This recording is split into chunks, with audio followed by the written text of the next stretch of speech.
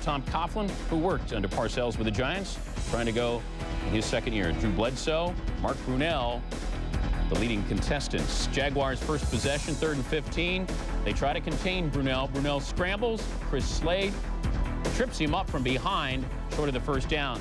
Jacksonville will punt. Mike Bartrum snap is high. Bryan Barker tries to scramble. It's down at the five. Larry Whigham, Tommy. Yeah, Bryan Barker took the high snap, but he has to at least attempt to get this ball up. I think he felt like he was getting more pressure than he actually was.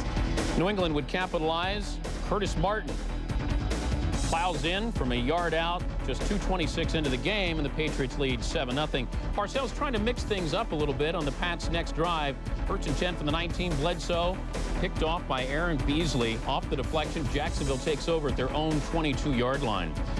Jaguars would get it going, and they would get it going by Mark Brunell. Only four of the quarterbacks have thrown for more yards in a season than Brunell did. He finds Jimmy Smith, 23-yard gain.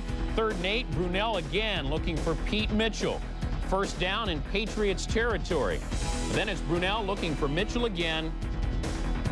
Eight yards. Brunell with the time to throw, Joe. He had some pretty good time all day, and that's because Tony Boselli did a darn good job on Willie McGinest most of the day. Willie chased him around a little bit, but Willie's not going to take much from Boselli.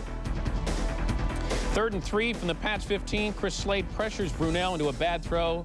Jags would settle for a field goal. It was 7-3. Still 7-3. Pats punting. Chris Hudson fields it. Fumbles. New England gets the ball at the Jags 20-yard line following the fumble. And they're in business. That would set up a 29-yard field goal. Adam Vinatieri. And the lights went out. A blown transformer at the stadium caused referee Jerry Markbreit to stop the game for 12 minutes but that could not postpone the inevitable. Vinatieri, 29-yard field goal, 10-3 pass. 30 seconds to go in the first half. Parcells wants to go for it.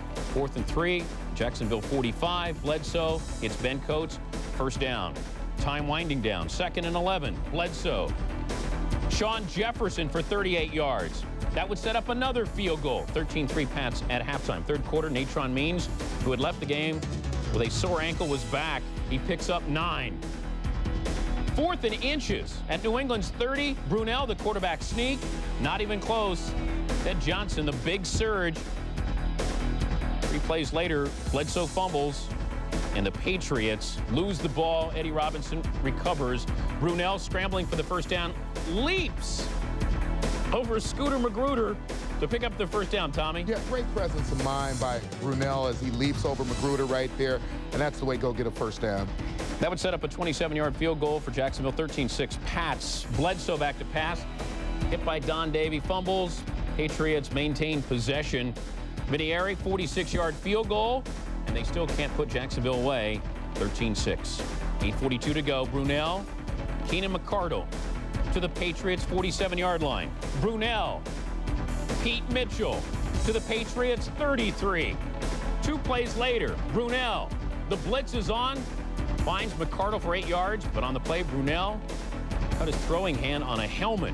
That set up second and goal from the five. Brunell, and he did not see Willie Clay. The touchback, Patriots ball at the 20. Brunell knows time is slipping away.